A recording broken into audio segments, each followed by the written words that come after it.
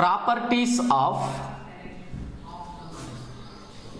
properties of dioxygen. Properties of dioxygen. Dioxygen or oxygen molecules are colorless odorless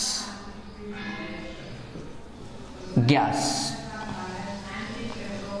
At room temperature or ordinary temperatures it is available in gaseous form and having no color and no smell.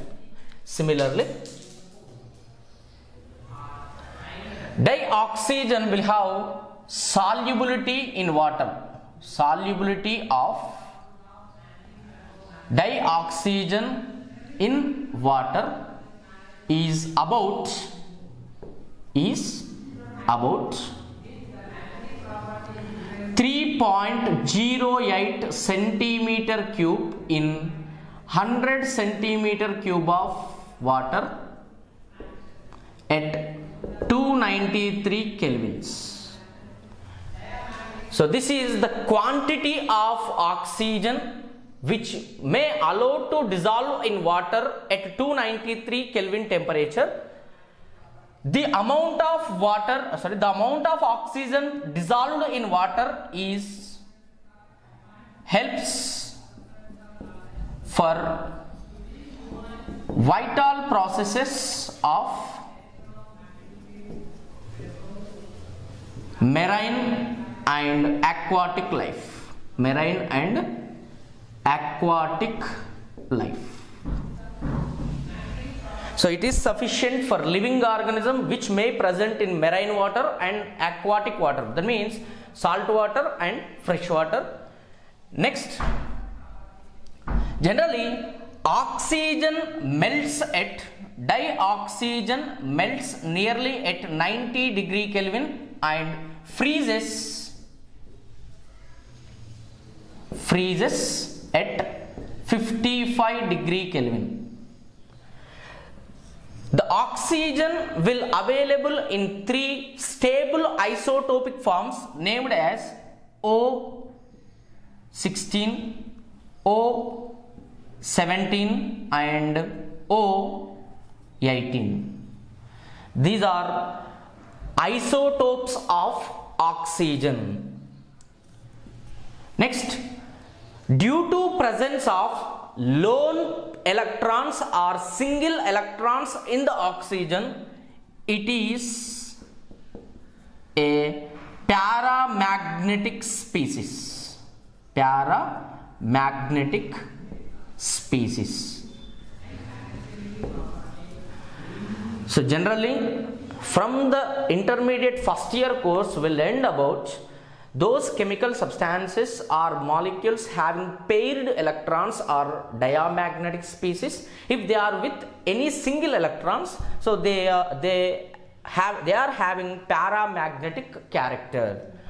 Next in chemical properties already we well known that oxygen by reacting with by reacting with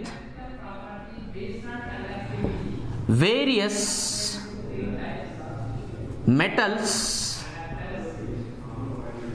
and non-metals it produces their oxides. Their oxides. Once again what is our statement oxygen widely react with various metals and non-metals to produce their oxides. Some of the metals are not reactive with oxygen they are silver uh, sorry gold and platinum. So this type of metals are non-reactive with oxygen means they never never reacts with oxygen to produce oxides similarly what are the non-metals? Almost all types of non-metals reacts with oxygen to produce their respective oxides except except inert gases.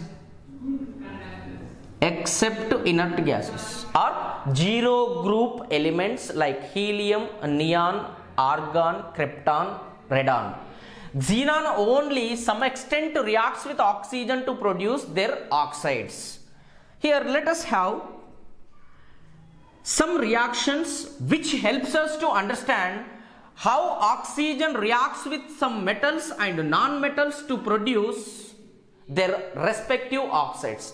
But before going to this, the oxygen reaction with various metals and non-metals is an endo exothermic reaction. That means releases amount of heat during the oxidation. But all these reaction in the initiation step we have to supply some amount of energy. Why? Because to break the oxygen oxygen double bond in oxygen molecule we have to use nearly 493.4 degree Kelvin or kilojoule for mole of uh, energy. Once again, all these oxidation processes are exothermic reaction but in the initiation step we have to apply or supply some amount of energy to break oxygen oxygen double bond which is having the energy 493.4 kilojoule per mole. So for this it uh, all the oxidation processes due to exothermic in reaction it continuously takes place without any further disturbances. Let us have some examples uh, some chemical reaction which can show how the oxides are resulting from various metals and non-metals. First,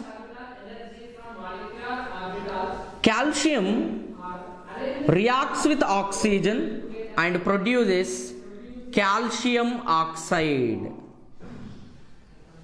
Once again, calcium by reacting with oxygen it produces calcium oxide. Similarly one more reaction.